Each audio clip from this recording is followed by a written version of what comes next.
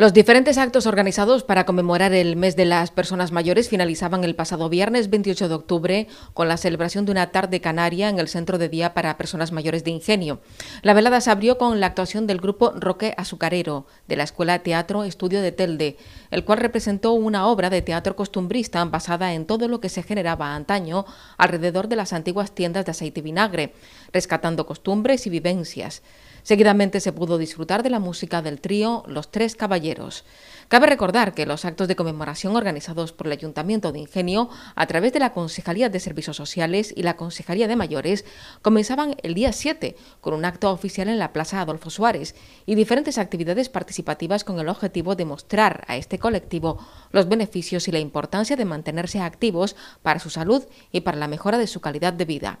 Continuó del 17 al 19 de octubre con las segundas jornadas Salud y Mayores, que se celebraron bajo el lema Cuidando a las personas cuidadoras. Con esto, digamos, culminamos un, equipo de actividades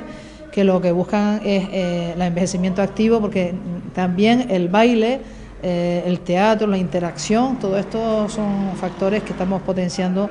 desde el Día de Mayor en las actividades de la, de la Concejalía.